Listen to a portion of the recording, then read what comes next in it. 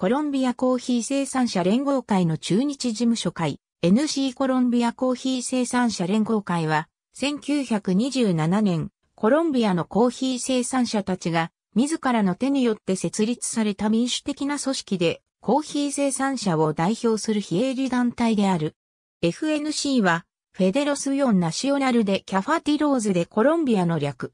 日本語では一般的にコロンビアコーヒー生産者連合会と訳され、コロンビアコーヒーの生産及び輸出を促進する商業組合と位置づけられる。現在、同国の50万世帯を超えるコーヒー生産者が加盟しており、そのほとんどが家族所有の小規模農園である。コーヒー豆の品質及び生産者の生活の向上を主な目的に国内大学への助成や研究機関への資金提供を通じてコーヒー生産における研究開発の支援輸出向けコーヒーの品質基準を満たす生産の監督を行っている。FNC のすべての営業利益はコーヒー基金に充てられることになっている。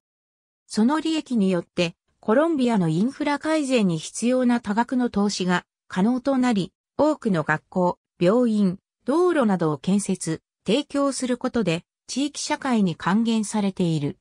また、1000人以上の農業アドバイザーをコロンビア国内各地に派遣、品質管理のネットワークを提供している。コーヒーの輸送と倉庫保管業に特化した FNC の別会社です。コロンビアから輸出されるすべてのコーヒーの品質管理を行っています。FNC 付加価値戦略の一環として、1973年以来、世界でも有数の高級インスタントコーヒーメーカーの一つであり、社会的な方向性を持つ唯一のメーカーです。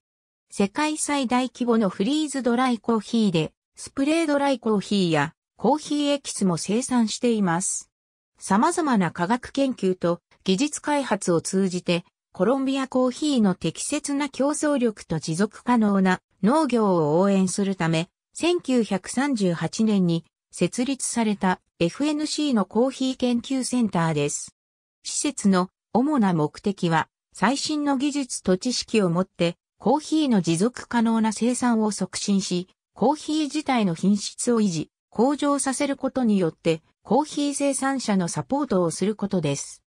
2002年に FNC コロンビアコーヒー生産者連合会によって設立しました。数あるコーヒー製品のブランドの中でも生産者に帰属する唯一のブランドです。ジュアン・バルデズの取り扱うコーヒーは、すべて高品質で特別なプレミアムコーヒ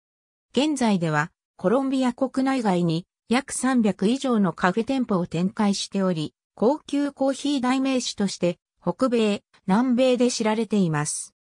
コロンビア産コーヒー豆には多くの種類があるが、その中でエメラルドマウンテン豆は FNC によってコロンビアコーヒー全生産量の中で厳選されたわずか3%未満の豆しか認定されない非常に希少な高級豆として知られている。